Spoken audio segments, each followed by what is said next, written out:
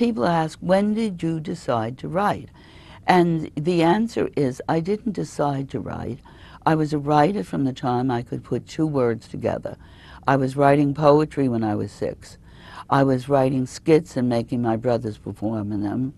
I was writing plays for the neighborhood kids. My mother lent us one of those velvet curtains, you know, when you put it over the garage. I was writing short stories all through high school. In fact, I went back to the school, Villa Maria Academy, where I had gone as, as a scholarship student. I couldn't have set foot in it if I hadn't been. And the math and science teacher, after I had 15 number one bestsellers, looked at me and said, Miss Higgins, you were a dreadful math student. So I was always writing. I was selling short stories uh, when I was 26. I the minute I got married, I said, I now must learn to be a professional writer. And then I right away walked down to NYU and took a short story writing course. And the first short story I wrote in that class sold six years later for $100. But by then I had 11 short stories in the mail. So I was always writing.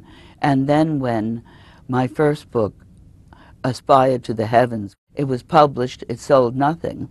It became a bestseller 10 years ago under the title Mount Vernon Love Story. But it said it proves I can write a book, and I am going to write a book. I was writing radio shows for a living. That's how I was supporting the kids. But I was determined I was going to write a book and write my way into success. And fortunately, I was able to do it. But when I was 15 and went down to New York, to Manhattan to work after school as a telephone operator in a hotel, if I got down early on the subway, I would walk along Fifth Avenue and have the clothes that I was going to have when I picked when I was a successful writer. I never doubted. I never thought I'd be this successful, but I did know I would be a successful writer.